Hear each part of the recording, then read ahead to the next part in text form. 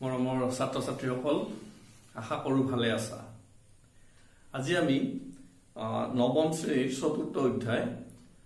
চতুৰ্থ অধ্যায়ত কি আছে? তোমালোকৰ দুটা চলকযুক্ত ৰৈখিক সমীকৰণ। এই বিষয়ে আলোচনা কৰিম।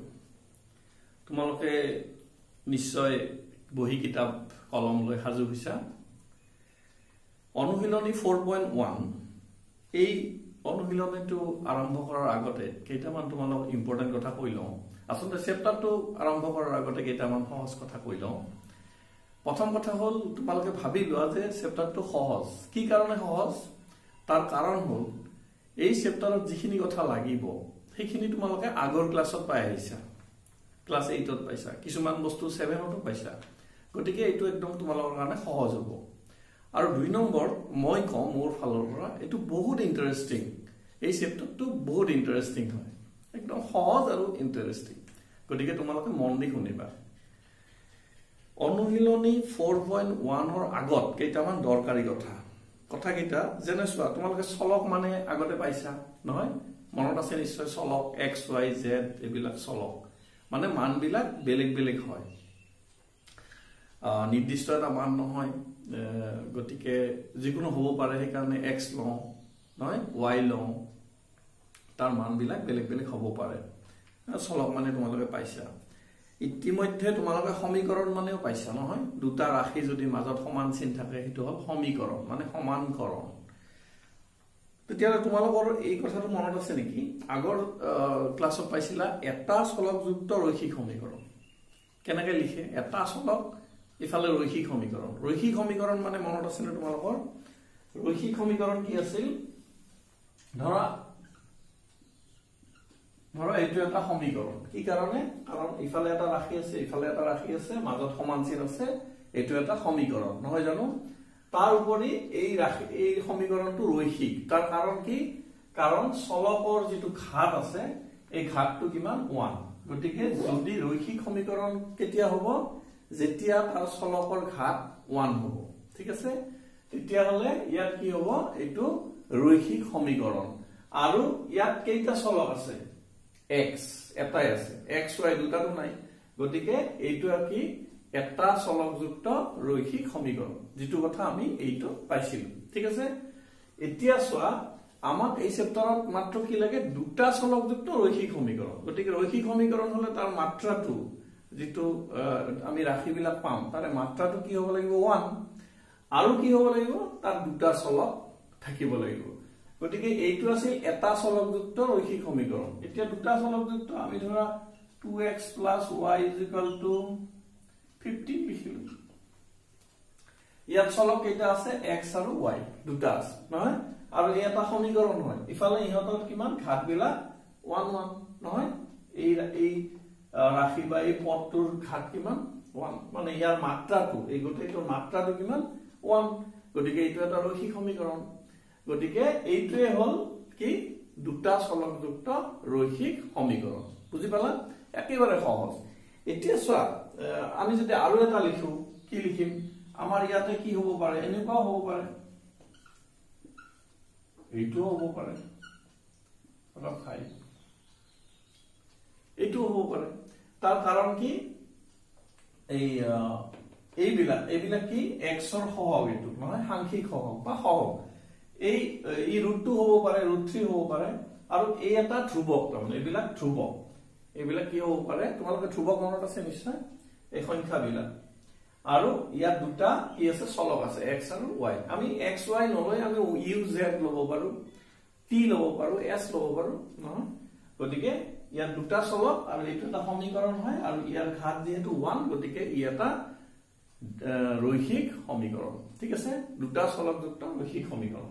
এতিয়া দেখা যায় আমি এটা উদাহৰণ ললো এই এটা উদাহৰণ ললো। এই উদাহৰণ বিলাকৰ পৰা আমি এটা জেনেৰেল ফৰ্ম এটা লিখিব পাৰো। মানে সাধাৰণ গঠনটো কেনেকুৱা হ'ব? সাধাৰণ গঠনটো এনেকুৱা হ'ব। ধৰা মই ইয়াতে লিখিছো a x plus b y plus c is equal to zero' তাৰমানে আমি এইটো কেনেকে লিখিব পাৰো নহয়? Root two x plus root three y এইটো এইফালে লৈ আহিলে বাওঁফালে কি হ'ব? জিৰ' নহয়? আমি এনেকুৱা এইটত সমাধান কৰা যেতিয়া এইটো আছিল আমি সমাধান কৰিছিলো এইটো নহয় চৰি। যেতিয়া এটা চলকৰ ৰৈখিক সমীকৰণ আছিল আমি এইটত বহুত কি কৰিছো? সমাধান কৰিছো। সমাধানৰ কথাটো পিছত যাম। তেতিয়াহ'লে ইয়াক আমি এনেকে বাওঁফাল সোঁফাল আমি কৰিব পাৰো। তাৰমানে দুইফালে কি কৰিলো? পাঁচ বিয়োগ কৰিলো। এইবিলাক তোমালোকে জানা বুলি ধৰি ললো। নহয়? আচ্ছা এতিয়া চোৱা তোমালোকৰ যদি অলপ কোকোজা থাকে তেতিয়াহ'লে এইটো কিতাপখন এবাৰ চাই ল'বা। ঠিক আছে? মই ভাবিছো তোমালোকৰ এইবিলাক মনত আছে। সহজ কথা। এতিয়া চোৱা এইটো হ'ল কি? জেনেৰেল ফৰ্ম কিহৰ? দুটা চলকযুক্ত ৰৈখিক সমীকৰণৰ এইটো হ'ল সাধাৰণ গঠন। কিয় সাধাৰণ গঠন চোৱা? আচ্ছা এতিয়া এ বি চি কি হ'ব লাগিব। ইয়াত এইটো মুচি দিওঁ। ইয়াত এ বি চি কি হ'ব? এ বি চি এইবিলাক কি হ'ব লাগিব? এইবিলাক বাস্তৱ সংখ্যা হ'ব পাৰে। কি হ'ব পাৰে? বাস্তৱ সংখ্যা। এ বি চি বাস্তৱ সংখ্যা হ'ব পাৰে। আৰু এটা কথা এ আৰু বি তাৰমানে এ শূন্য হ'ব নালাগিব বি শূন্য হ'ব নালাগিব। এই কণ্ডিশ্যন দুটাত এই সাধাৰণ ফৰ্মটোক কি বুলি কয় সাধাৰণ গঠনটোক কি বুলি কয় দুটা চলকযুক্ত ৰৈখিক সমীকৰণ। ঠিক আছে? এতিয়া চোৱা তোমালোকৰ কিতাপতো আছে। তোমালোকে যদি কিতাপখন উলিয়াই লৈছা তাত তোমালোকে পেজ নম্বৰ নাইণ্টি থ্ৰী নতুন কিতাপখনত ঠিক আছে? তাত তোমালোকৰ ডেফিনেশ্যন সংজ্ঞাটো দিয়া আছে। মই এবাৰ পঢ়ি দিওঁ। কোনো এটা সমীকৰণ যদি a c plus b y ইয়াত এ চি দিছে দেই তোমালোকৰ এ এক্স হ'ব এইটো ফুল আছে দেখিছানে? কিতাপত? এ এক্স হ'ব। A x plus b y plus c is equal to zero' আৰ্হিত প্ৰকাশ কৰিব পাৰি য'ত এ বি চি তিনিটা কি হ'ব? বাস্তৱ সংখ্যা হ'ব আৰু এ বি দুয়োটাই কি হ'ব? শূন্য নহয়। শূন্য হ'ব নোৱাৰিব নালাগে শূন্য হ'ব। তেনেহলে তাক কি বুলি কয়?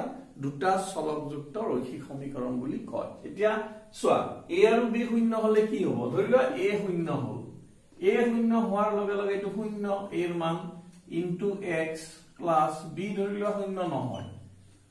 তেতিয়াহলে কি হব? এইটো ইনটু কৰিলে কি হব? জিৰ' হৈ যাব।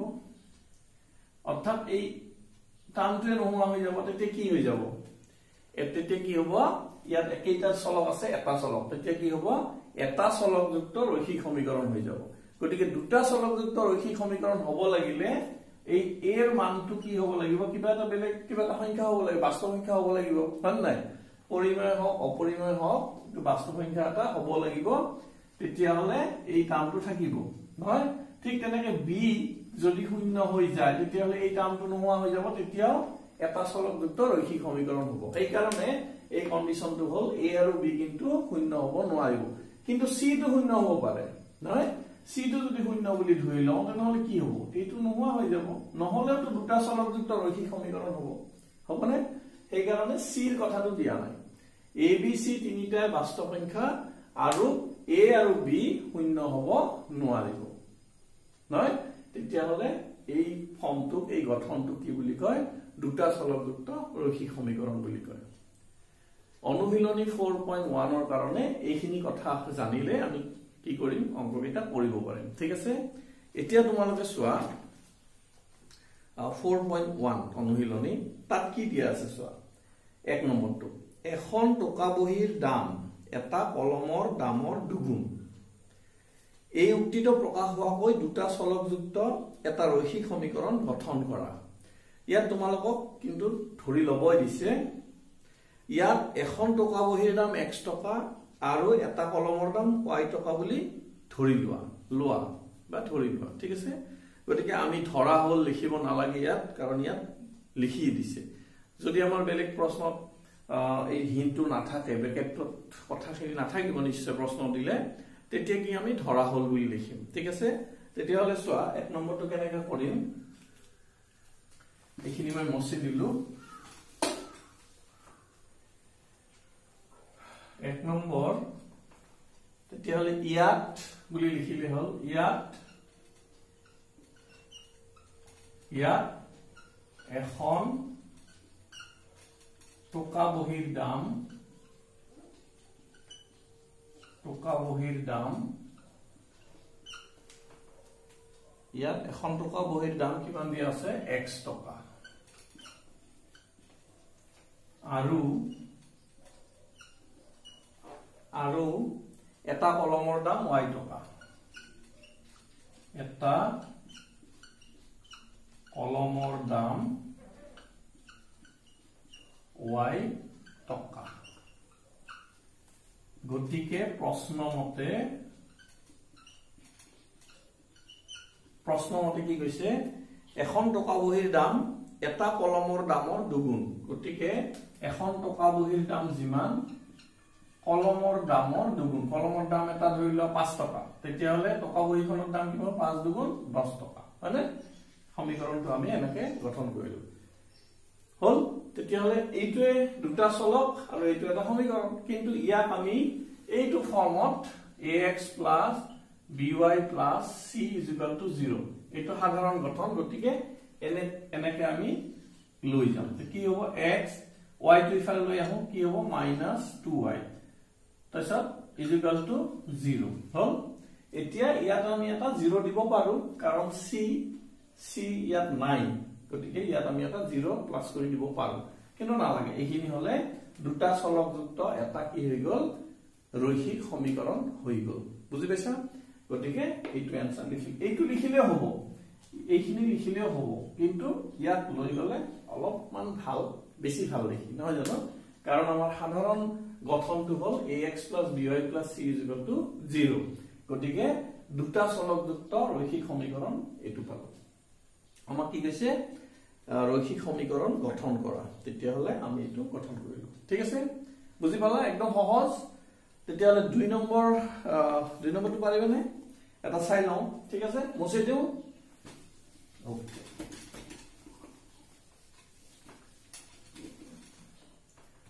দুই নম্বৰটো চোৱা কি কৈছে? প্ৰথমতে প্ৰশ্নটো বুজি লোৱা। দুই নম্বৰ। কি কৈছে? তলৰ ৰৈখিক সমীকৰণ বিলাক a x plus b y plus c is equal to zero' আৰ্হি প্ৰকাশ কৰা। প্ৰথমতে এই ধৰণে প্ৰকাশ কৰিব লাগিব। আৰু প্ৰতি ক্ষেত্ৰত এ বি আৰু চিৰ মান উল্লেখ কৰা। এতিয়া প্ৰথমটো লওঁ নহয় টু ওৱান কি আছে? Two x plus three y বা y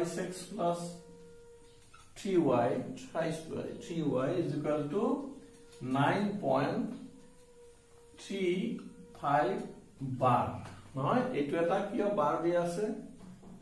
ঠিক আছে তাৰমানে ফাইভটো বাৰে বাৰে আহি থাকিব পৌনপুনি তেতিয়াহ'লে আমি ইয়াক সাধাৰণ গঠনলৈকে লৈ যাম। তেতিয়াহ'লে কি কৰিম চোৱা? Two x plus three y এইটো এইফালে কি হ'ব? Minus nine point three five bar is equal to zero নহয়? ইয়াক আমি এনেকে লিখিব পাৰো two x plus three y plus এইটো সোমাই দিওঁ মাইনাছ ইজিকেল টু জিৰ' নহয় যিহেতু আমি সাধাৰণ গঠনটো কি আছিল? Plus b y plus c এইটো আছিল প্লাছ গতিকে ইয়াত মাইনাছটো আমি সোমাই দি প্লাছ কৰি দিলো ইজিকেল টু জিৰ' এই ফৰ্মত লৈ গলো হল? তেতিয়াহ'লে আমাক কৈছে কি? এই আৰ্হিত প্ৰকাশ কৰা সাধাৰণ আৰ্হিত আমি লৈ গলো। এতিয়া কি কৈছে? প্ৰতি ক্ষেত্ৰত এ বি আৰু চিৰ মান নিৰ্ণয় কৰা। তেতিয়াহ'লে গতিকে এ ইজিকেলটো কি হ'ব ইয়াত? টু বি ইজিকেলটো কি হ'ব? থ্ৰী আৰু চি ইজিকেলটো কি হ'ব? এইটো কি হ'ব? Minus nine point three five বাৰ তেতিয়াহ'লে এনেকে কৰিলে হৈ গ'ল। ঠিক আছে? গতিকে দুই মই ওৱানটো কৰি দিলো এক নম্বৰটো তোমালোকে দুই নম্বৰটো পাৰিবানে? দুই তিনি চবটো একেই। ঠিক আছে মই এটা কাম কৰো চাৰি নম্বৰটো কৰি দিওঁ। অলপমান বেলেগ ইয়াত কি আছে? চাৰি নম্বৰটোত এক্স আৰু থ্ৰী ৱাই। নহয় তাৰমানে চিটো নাই। নালাগে চাৰিটো পাৰিবা। তোমালোক মই সাত নম্বৰটো কৰি দিওঁ। তাত কি আছে? মাত্ৰ এটা চলক আছে। এটা চলক থাকিলে কি কৰিম? নহয়? ঠিক আছে এইটো হ'ল মুচি দিওঁ।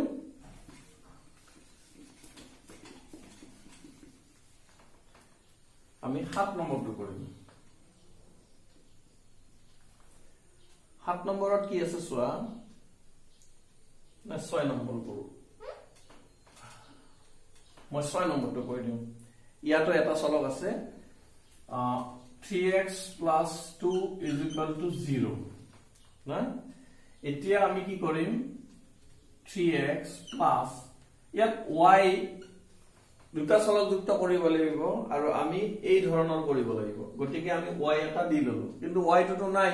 গতিকে ইয়াত নিশ্চয় বি টো কি আছে? জিৰ' তাৰমানে বি জিৰ' এটা পূৰণ হৈ আছে নিশ্চয়। হয় নাই? তেতিয়াহ'লে জিৰ' আৰু ৱাই পূৰণ কৰিলে কি হ'ব? এইটো পইণ্ট বুলি ভাবা যদি ইনটু কৰি দিবা নাইবা ব্ৰেকেট দি দিবা।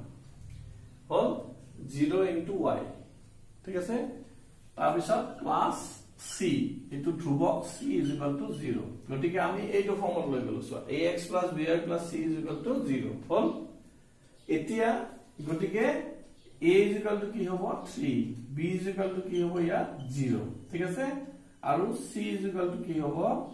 C is equal to two হ'ল? প্ৰথমতে এই ফৰ্মত বনাই ল'বা তাৰপিছত আমি মানকেইটা পাই যাম। তুলনা কৰিলে নহয়? এইটোৰ লগত তুলনা কৰিলে কি হ'ব? এইটো তাৰপিছত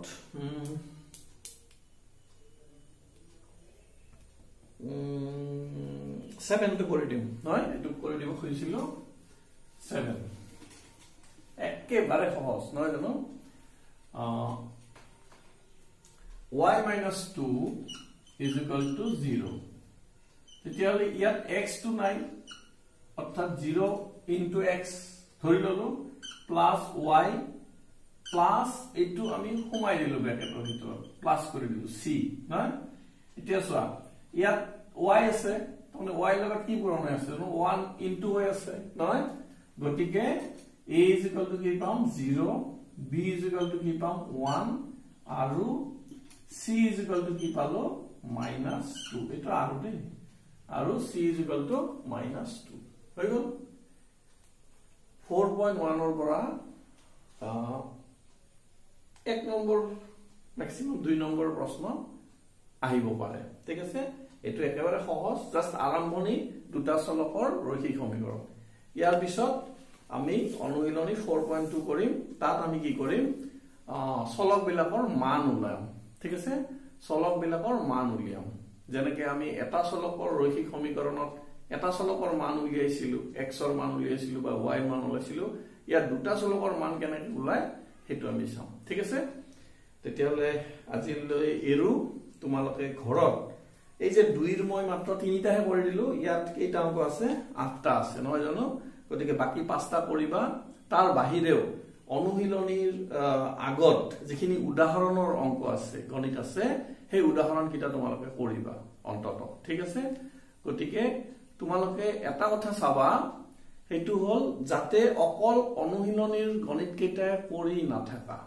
অকল অনুশীলনীৰ গণিত কৰি তোমালোকে নাভাবিবা যে আমাৰ গোটেই হৈ গ'ল গোটেই কিতাপখন হৈ গ'ল আমি পাৰা হলো। নহয় কিছুমান ল'ৰা ছোৱালীয়ে অলপমান মুখস্থ বেছি কৰে। মুখস্থ কৰিব নালাগে তোমালোকে বুজি কৰিবা। লাগিলে দুবাৰ তিনিবাৰ চাই চাই কৰিবা। তাৰপিছত যেতিয়া বুজি পাবা তেতিয়া তোমালোকে সেই যিটো নিয়ম আছে তেতিয়া তোমাক যেনেকুৱা ধৰণৰ সেই নিয়মৰ যিকোনো গণিতেই নিদিয়ক কিয় অকল অনুশীলনীত থকা বুলি কথা নাই তেতিয়া তোমালোকে আৰামত কৰি যাব পাৰিবা। ঠিক আছে? আৰু যিমানেই বুজিবা সিমানে অংক গণিত ইণ্টাৰেষ্টিং হ'ব। ঠিক আছে? ধন্যবাদ। ইয়াৰ নেক্সট ক্লাছত আকৌ লগ পাম।